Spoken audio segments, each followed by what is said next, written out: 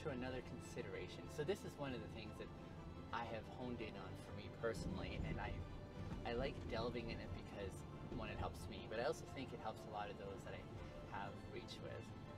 And so for me, I've sort of honed in on the theme, the idea of integrity.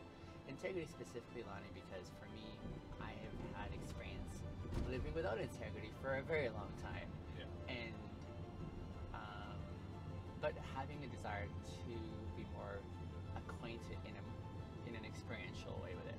So, um, what does integrity look like? Or, yeah, for you in this current season while you have so many other things that are in play? Because it almost sounds like you have a lot of plates in the air. Yeah.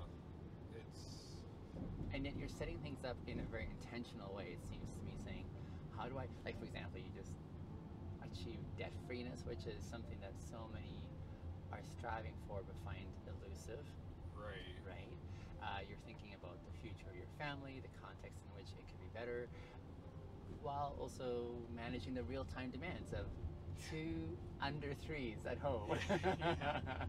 yeah, I know for sure. Um, like integrity, like And I like the conversation because it rarely happens, it seems to me. Like the actual hey, what does this look like?